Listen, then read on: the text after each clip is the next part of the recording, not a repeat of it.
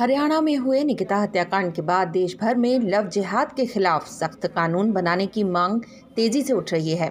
सामाजिक संगठन, हिंदू जागरण मंच ने भी उत्तराखंड सरकार से लव जिहाद रोकने के लिए सख्त कानून बनाने की मांग की है।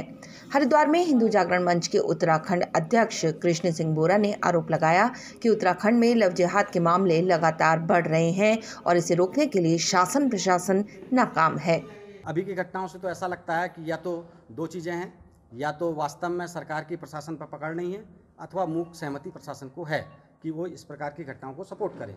गौ तस्करी हरिद्वार में लगातार बढ़ रही है और अगर पहली बात तो मुकदमे कायम नहीं होते, यदि मुकदमे कायम भी हो जाएँ तो गिरफ्तारी नहीं होती। अनेकों ऐसी घटनाएँ हैं जहाँ पर गिरफ्तारी जो है अभी तक नहीं हो पाई है और लगातार संघर्ष उसके लिए करना पड़ता है।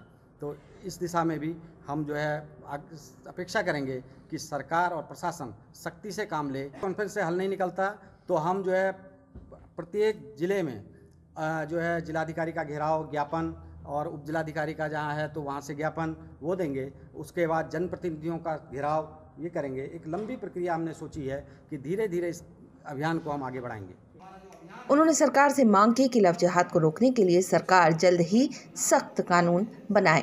सख्त कानून बनाने के लिए हिंदू जागरण मंच के कार्यकर्ताओं द्वारा प्रदेश भर में जन जागरण अभियान चलाया जाएगा और तब भी उनकी ये मांग पूरी नहीं होती तो वो आंदोलन भी करेंगे। हरिद्वार से न्यूज़ स्टूडियो के लिए सुमित यश कल्याण की रिपोर्ट।